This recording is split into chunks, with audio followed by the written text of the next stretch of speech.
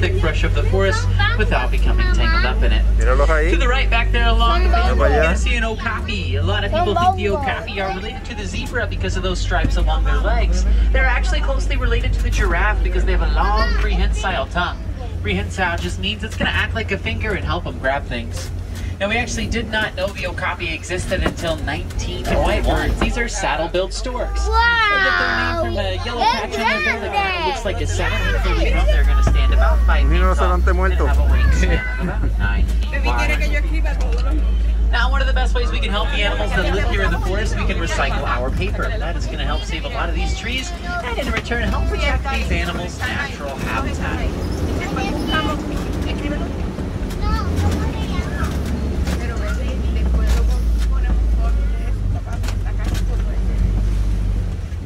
All right, so way back to the left, cut through the trees and bushes there, you're going to see some light tan animals. Those are the greater kudu.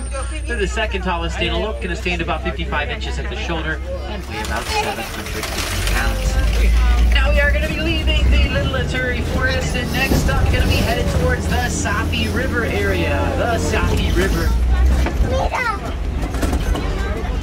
Mira, sí, yo lo vi, lo vi, ¿verdad? It's like uh, over here to the left in the water here, as we stay seated. You may start to see a couple of hippopotamus there. Hippos can sometimes be a little bit tougher to see, mostly because they can hold their breath underwater for around eight minutes. Let's check. Friends in the back, let's make sure we're sitting down, please. Thank you. Mira, otro animal. Now their ears, eyes, and nose are all on the top of their heads. That's going to help them come up for air without having to be completely. We just help with the word off predators. Hay una bebé. Hippos are vegetarian.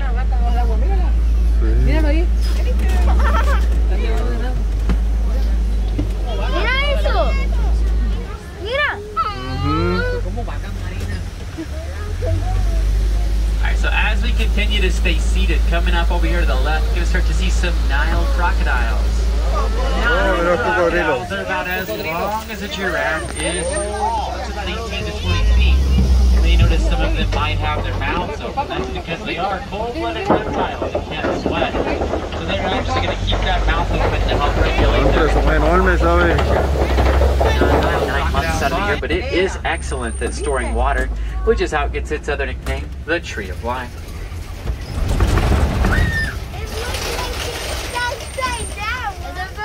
As we head down onto the savannah, one of the ways it gets its unique landscape feel just up above your heads will come in handy. Kinda a little warm at times and it's a little rainy at times today, so some of the animals that be kind of be hanging out in areas with a lot of shade. Uh, not all of them, but some of them. So that's one of the areas we're going to want to pay attention to today as we're moving through the savannah. Make sure we're all sitting down, friends, on a lap or a seat. Word on predators like lions. They are the official emblem of the Harambe Wildlife Preserve because they are tough, courageous, and stick together. That's what Harambe means, to come together. Also, I notice this really large antelope over here to the left. That is the eland. Eland are the largest antelope, going to weigh about 2,000 pounds fully grown.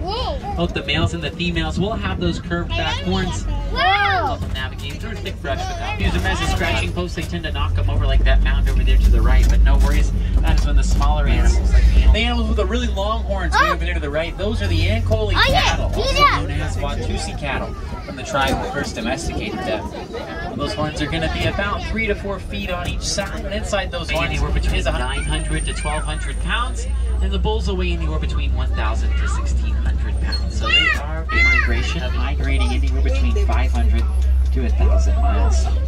And as we start to turn the corner coming up, we'll start to see a few of those Maasai giraffes. Fully grown, the Maasai giraffe will stand about 18 to 20 feet tall. They have an 18 inch long prehensile tongue that'll help them grab that vegetation that is high up in the trees. And then as a human Parece una no two giraffes are going to have the same spot pattern. Hola. When giraffes are born, they are about six feet tall and they'll drop six feet to the ground whenever they're born. A lot of the other hoofstock animals, they are one of those animals that are, for the most part, going to be born at night. Group of giraffes is also known as a tower. A little bit more of that tower of giraffes over here to the left are the size of a basketball. There's more So have the giraffes. highest blood pressures in any animal Mira, as te well. miran por el otro lado y otro está mirando. Ay, ¿cómo seguir comida así? Tendría que bajar más la cabeza. Ay, no. Comer. Another animal.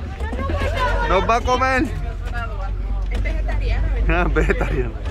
Qué alivio. Ana, no nos va comer. Un león nos comería. Ah, sí. Hey, back there to the right, I get a quick view of an African elephant. One of the ways we know this isn't African ¡Elefantes! elephant is one. ¡Wow! Also, if you look at their ears, their ears are large. ¡Es un elefante, papá! Sí. Like the shape of the continent of Africa. Los I think I just see the one over here. source of income for the farmers in the honey that the bees produce. So it is a win-win for everyone, and it's just another way we can learn to live with nature.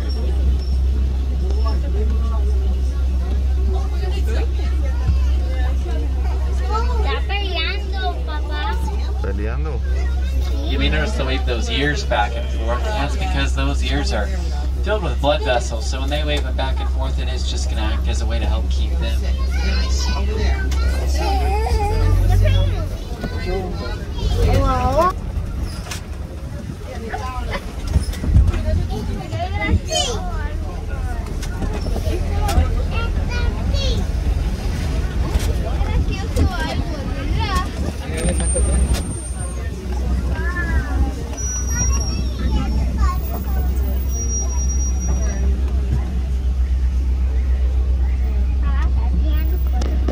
Sí. All right, so coming up over here to the left, you're gonna start to see some greater flamingos. If you may notice some of the smaller gray ones. Those are the baby flamingos. They were born right here on the reserve over the last month or so. Now, flamingos get their pink coloration from their diet of shrimp, which is rich in beta carotene.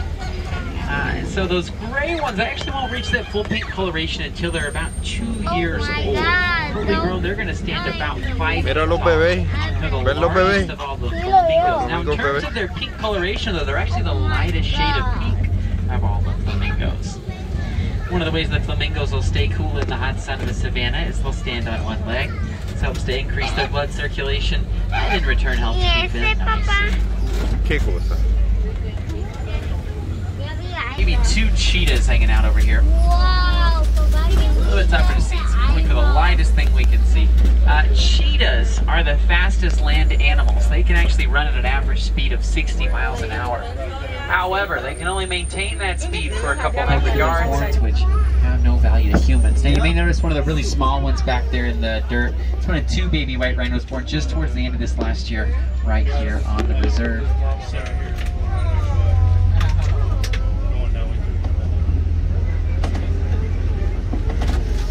Probably get one more view of those rhinos here. Those numbers that came back up. So it's like this are still one of the few places you can see them on the Then there's the ostrich el at the más left. grande. Ostrich are the largest flightless bird. Can run at an average speed of 40 miles an hour. Although they can't fly, they use those large wings to help them steer whenever they're running. And these are the ostrich eggs on the ground here to the right. Those eggs are very large, rich in calcium. Fit about three dozen chicken eggs in one ostrich egg.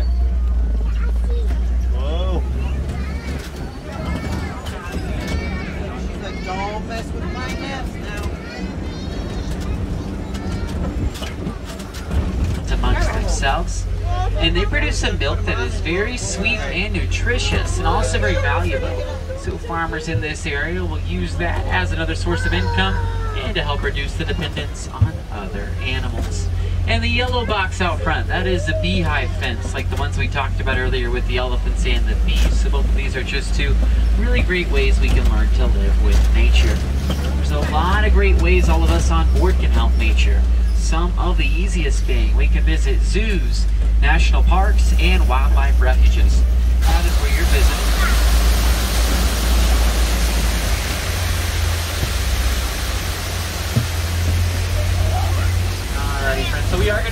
Alrighty, friends. So we